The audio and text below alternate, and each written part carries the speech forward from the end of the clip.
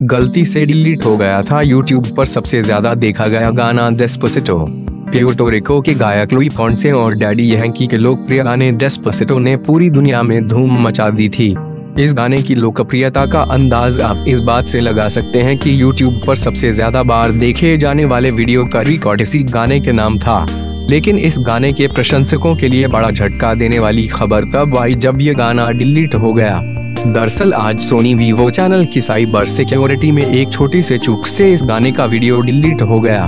दुनिया के सबसे बड़े वीडियो सर्च इंजन यूट्यूब पर सिक्योरिटी की एक छोटी सी गलती से हैकर्स को डेस्पासितो वीडियो का एक्सेस मिल गया और उन्होंने इस गाने के सभी प्रिंट उड़ा दिए।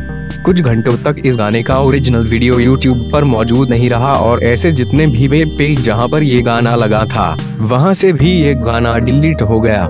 हालाँकि जिन लोगों के पास ये गाना डाउनलोडेड है या सीडी पर मौजूद था, वो सुरक्षित रहे।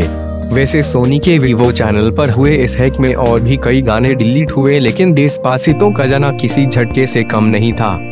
इस गाने की रॉयल्टी भर से ही देशपासितो गाने वाले लुई फॉन्सी का काम चल जाना था। इस गाने को जस्टिन बीबर ने भी परफॉर्म किया था और दुनिया भर में लोगों ने अपनी अपनी भाषाओं में इस गाने की पैरोडी बनाई है।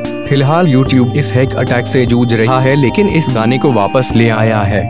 नीचे दिए वीडियो में आप इस गाने को सुन सकते हैं, जिसे कुछ देर पहले हैकर्स ने अपनी तस्वीर लगाकर हैक कर लिया था, पर अब डेस्पासित लौट आया है।